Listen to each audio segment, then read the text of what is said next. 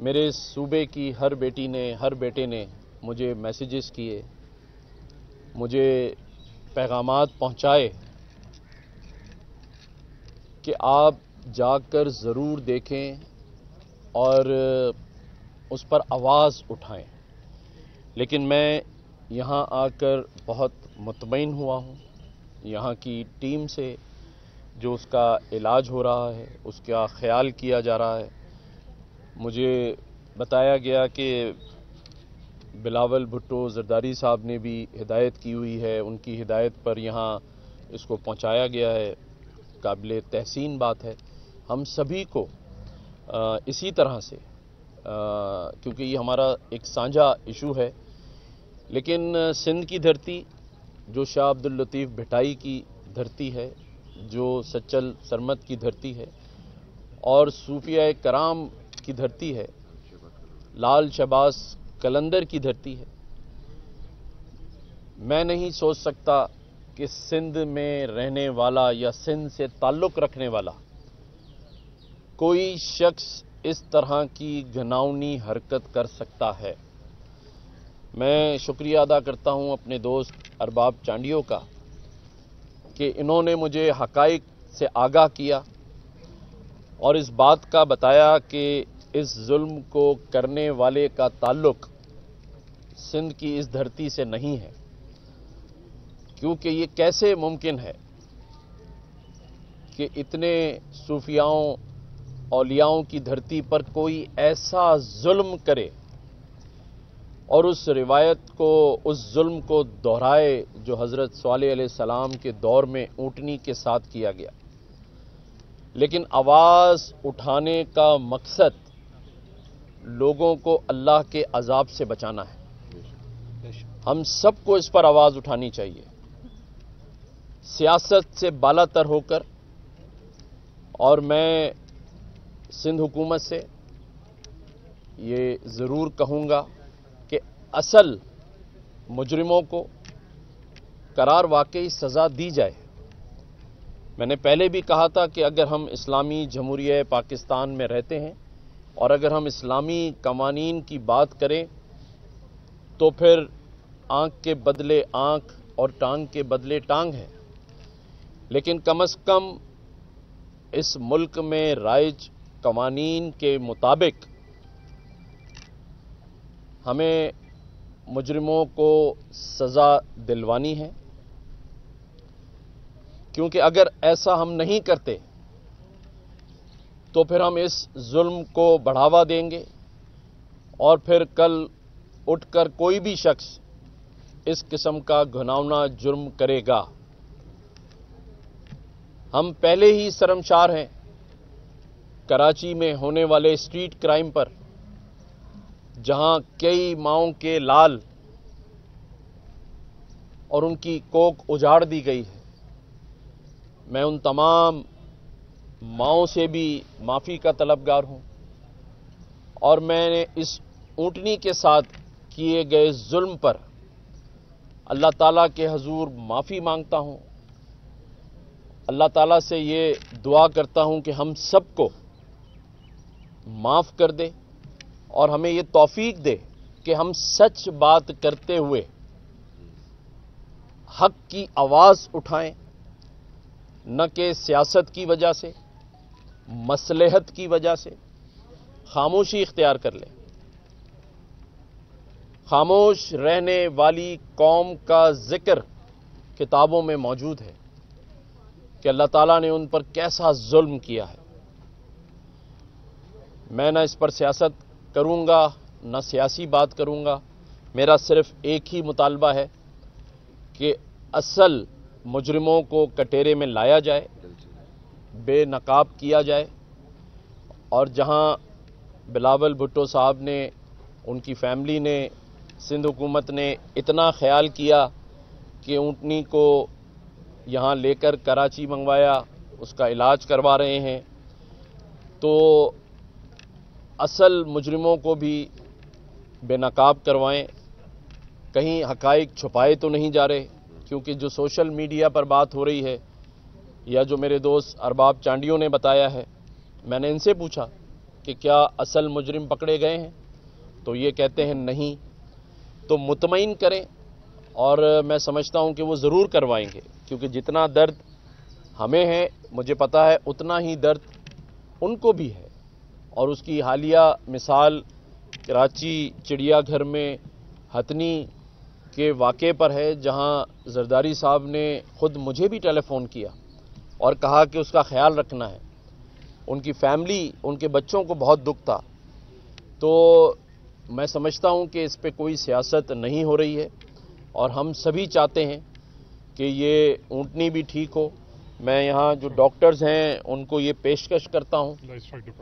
Life stock department کی ساری team موجود ہے۔ ماشاءاللہ سبھی ان کا خیال رکھ رہے ہیں۔ سارے ڈاکٹرز موجود ہیں۔ یو اے ای کیونکہ وہ وہاں کیمل کا پورا سلسلہ موجود ہے۔ میری یو اے ای کے کونسل جنرل سے بات ہوئی ہے اور میں ان کو بھی کہتا ہوں کہ اگر اس اونٹنی کو دبئی بھجوانا ہو اس کی مصنوعی ٹانگ کے لیے باقی علاج کے لیے تو اس کے تمام اخراجات میں ذاتی طور پر اٹھانے کے لیے تیار ہوں۔ آج اس اونٹنی کو میں نے کیمی کا نام کیونکہ یہ سب لوگ پیار سے اس کو وہی کہہ رہے ہیں۔ تو اس کیمی کا خیال ہم سب کو مل کر رکھنا ہے۔ سات مہینے کی یہ اونٹنی ہے۔ اس ویڈیو کو ضرور شیئر کریں اور سنیں، جس میں جب اس کی ٹانگ کاٹی جا رہی تھی، تو یہ آسمان کی طرف منہ کر کے رو رہی تھی۔ دھاڑے مار مار کے رو رہی تھی۔ تکلیف میں تھی۔ ہم سب کو اس تکلیف کا احساس کرتے ہوئے آئندہ ایسے کوئی واقعات نہ ہوں۔ اس کے لیے قانون سازی کے ساتھ ساتھ قانون پر عمل داری کروانے کی ضرورت ہے اور ان شاء اللہ تعالی ہم سب مل جل کر یہ کام کریں گے۔ میں دعا گو ہوں کہ اللہ تعالیٰ اس کیمی کو جلد سے جلد صحتیاب کرے اور اس کی جو بھی ٹریٹمنٹ ہے وہ ہم سب مل جل کر کریں اور یہ پھر سے صحتیاب ہو۔ ابھی جو میں نے اس کی کنڈیشن دیکھی ہے میں سمجھتا ہوں انشاءاللہ یہ سب دعاؤں سے ریکور بھی کرے گی اور ہم سب جو ہے وہ اس غم میں برابر کے اور اس کی تکلیف میں شریک رہیں گے دعا گو رہیں گے۔ گورنر صاحب آپ جیسے یہاں پہنچے تو اس سے پہلے ایک ٹویٹ آیا ہے شادیہ مری کی جانب سے کہ انہوں نے آپ کو کہا ہے کہ آپ یہاں سروس کرنے نہ آئیں اور اس کو پرسکون رہنے دیں۔ آپ اس لیے آئے ہیں یہاں پہ؟ دیکھیں میں اپنی اس بہن کی ٹویٹ کی وجہ سمجھتا ہوں۔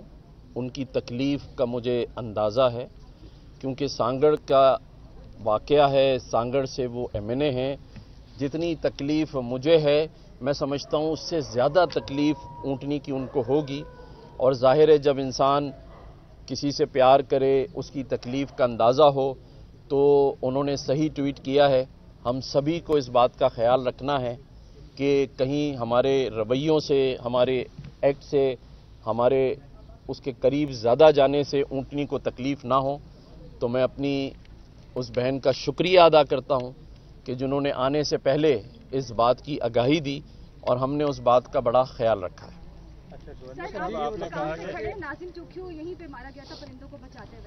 آپ نے کہا کہ سوکھیوں کی دھرتی ہے ایسے نہیں ہوتا۔ ابھی انہوں نے بتایا کہ گدھا آیا ہوا ہے وہاں پر، حیدرآباد سے، اس کی دونوں ٹانگیں توڑ دی گئی ہیں مسئلہ یہ ہے کہ قوانین نہیں ہے آپ کے پاس۔ اگر جانوروں کو نقصان پہنچانے والوں کے لیے اسٹرانگ لاز موجود ہوتے تو شاید یہ گدھا یہاں موجود نہ ہوتا شاید چاہے ہماری گلی محلوں میں بلے اور کتے جو ہیں وہ گھوم نہیں رہے ہوتے زخمی حالت میں کی حالت میں۔ تو آپ لوگ خود مطالبہ کرتے ہیں جبکہ آپ لوگ خود اس اسٹیج پہ موجود ہیں جب آپ ایک خود پریشر بلڈ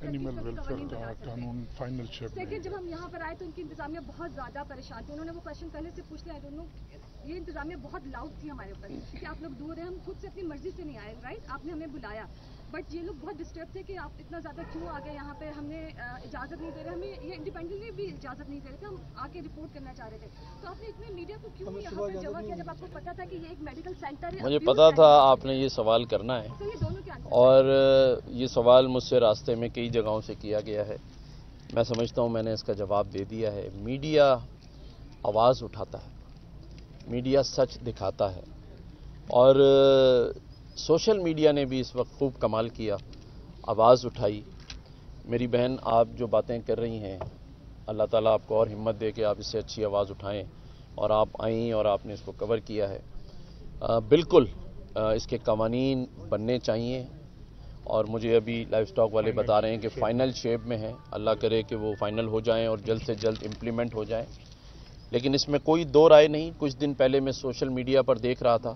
کہ ساتویں فلور سے ایک شخص نے ایک کتے کو اٹھا کے اوپر سے نیچے پھینک دی۔ یعنی یہ بات تو طے ہے کہ ہمیں اس کا ادراک نہیں ہے، صرف جانوروں پہ ہی ظلم نہیں ہو رہا۔ میں اس واقعے کا کیا کروں کہ ایک یوٹیوبر جو صرف ایک ویڈیو بنانے کے لیے ایک شخص کے قریب جاتا ہے اور وہ سیکورٹی گارڈ اس کو جان سے مار دیتا تو یہ تو معاشرے کا مسئلہ ہے۔ اسے تو ہم نے اور آپ نے مل کر صحیح کرنا ہے، جس میں میڈیا کا کردار بہت بڑا ہے اور ہونا چاہیے۔ ہم تنقید کر رہے ہیں تسی نہیں کر رہے۔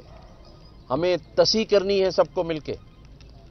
اور میں سمجھتا ہوں کہ ہم سب اس طرف گامزن بھی ہیں۔ آج لاکھ مخالفتوں کے باوجود میں بھی یہاں موجود ہوں، آپ بھی یہاں موجود ہیں۔ اور ہم نے حق اور سچ کی بات کی ہے۔ اگر حق اور سچ کی بات کرنے پر کوئی ناراض ہوتا ہے مجھے ابھی کسی نے ٹیلی فون کیا آنے سے پہلے۔ اس نے کہا گورنر صاحب نہ جائیں۔ ایک اونٹنی کی وجہ سے کہیں گورنرشپ نہ چلی جائے۔ اچھا۔ تو میں نے اس کو کہا کہ خدا کی قسم اگر اس بات پر جاتی ہے تو ابھی چلی جائے۔ کیا ہے یار کیسا معاشرہ ہے؟ کہ ظلم کے خلاف آواز نہیں اٹھا سکتے۔ کیوں نہیں اٹھائیں گے؟ میں آواز اٹھاؤں گا، لیکن مثبت آواز اٹھاؤں گا۔ کوئی اسے تنقید نہ سمجھے۔ اگر کوئی سمجھ رہا ہے تو وہ نا واقف ہے۔ میں تو یہ کہہ رہا ہوں کہ یہ ہمارا سانجھا مسئلہ ہے۔ جتنی تکلیف میرے پیپلز پارٹی کے بھائیوں کو ہے، اتنی ہی مجھے ہو سکتا ہے مجھے کم ہو، ان کو زیادہ ہو۔ اور جب میں یہ کہہ رہا ہوں کہ بلاول بھٹو صاحب نے اتنا اچھا ارینجمنٹ کیا ہے، تو آپ نے بھی اندازہ کر لیا کہ میں تنقید کرنے نہیں آیا؟ میں تو مثبت پیشرفت کے لیے آگے آیا ہوں۔ آئیں ہم سب مل کے ایسے مظالم ڈھانے والوں کا مقابلہ بھی کریں اور انہیں ان کے انجام تک پہنچائیں اور ان شاء اللہ تعالی ہم پہنچائیں گے۔ سوال میرا یہ تھا کہ آپ جس واقعے کا آپ نے ذکر کیا کتے کو پھینکنے والا وہ الفرم اسکوائر کے تیسرے فلور کا واقعہ تھا۔ تو within two hours F I R بھی کٹتی ہے وہ بندہ پکڑا جاتا ہے اس کو لاک اپ میں لے جاتے ہیں لہٹا کے تھانے میں۔ لیکن اتنا بڑا واقعہ یہ ہوا ہے کوئی قانون نہیں کوئی گرفتاری نہیں ہوئی۔ کم سے کم کم سے کم اس کو سن بدر تو کر سکتے ہیں سن دھرتی کا نہیں ہے تو۔ دیکھیں میں نے حضرت صالح علیہ السلام کا واقعہ بتایا ہے۔ اگر اس کے بعد بھی اس پر عمل درآمد نہیں ہوتا، مجرم سلاخوں کے پیچھے نہیں ہوتا، تو پھر میں اپیل کروں گا چیف جسٹس آف پاکستان سے کہ جہاں آپ بہت سارے سو موٹو لیتے ہیں، آئیں ایک بے زبان کے لیے بھی سو موٹو لیں۔ تاریخ میں اپنا نام لکھوائیں، انکوائری کروائیں کہ ایک ایسا ظلم جو ایک بے زبان کے ساتھ کیا گیا، ایک کھڑی ہوئی سات ماہ کی اونٹنی کسر عام پیر کاٹ دیا گیا ہے۔ یہ انتہا ہے ظلم کی۔ اور اس پر جو آواز نہیں اٹھائے گا، آج میں آپ کو بتا رہا ہوں، وہ عذاب الہی سے محفوظ نہیں رہ سکتا۔ گورنر صاحب آپ جو ہے آپ بھی ایک ہی مطالبہ کر رہے ہیں کہ اس کے جو ذمہ دار ہیں اس کو گرفتار کیا جائے۔ آپ خود ریاست ہیں گورنر ہیں تو اگر آپ مطالبہ کر رہے ہیں وہ بندہ نہیں پکڑا جا رہا تو عام آدمی کی کیا صورتحال ہوگی پھر یہاں پہ؟ دیکھیں یہ میرے جو معصوم بھائی اور بہنیں کھڑی ہیں نا یہ قانون پڑھے پھر۔ اگر میرے اختیار میں ہوتا تو ابھی تک کرنے والا جیل میں ہوتا۔ آج ہم قانون اور آئین کی بات کرتے ہیں۔ جب میں قانون اور آئین کی بات کرتا ہوں، مجھے کہتے ہیں، یہ میرا کام نہیں ہے۔ کل پھر آپ کہیں گے کہ گورنر صاحب، یہ آپ کا کام نہیں ہے۔ قانون موجود ہے، وزیر داخلہ موجود ہے، آئی جی موجود ہیں۔ نہ کلوائیں مجھ سے ایسی باتیں جس سے تلخی کا اظہار ہو۔ عید کا دن ہے، قربانی کا جذبہ لے کر میں ایک دوسرے کو ہم معاف کر کے آگے بڑھیں۔ ہم بات یہ کریں کہ قانون جن کے ہاتھوں میں ہے وہ اس پر عمل درآمد کرائیں۔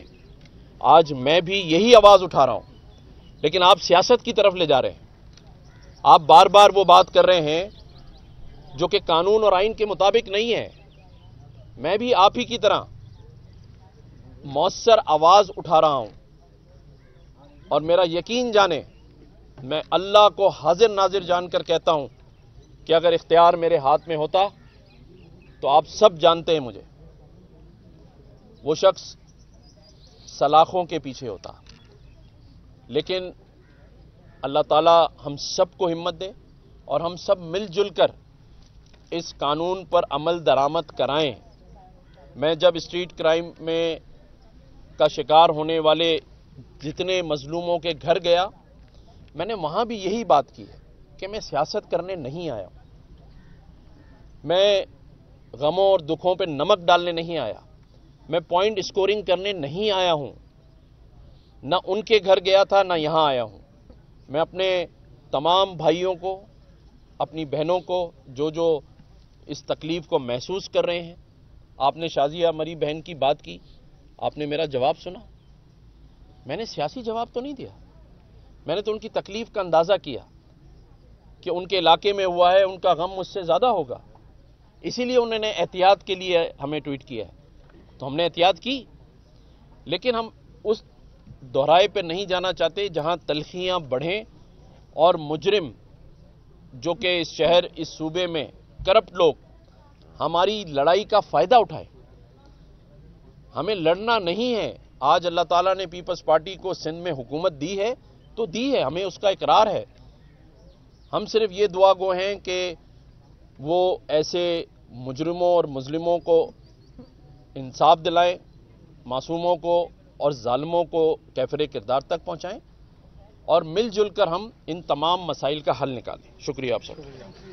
ہمارے ساتھ جام قائم علی صاحب، جن کا تعلق نون لیگ سے ہے وہ بھی موجود ہیں۔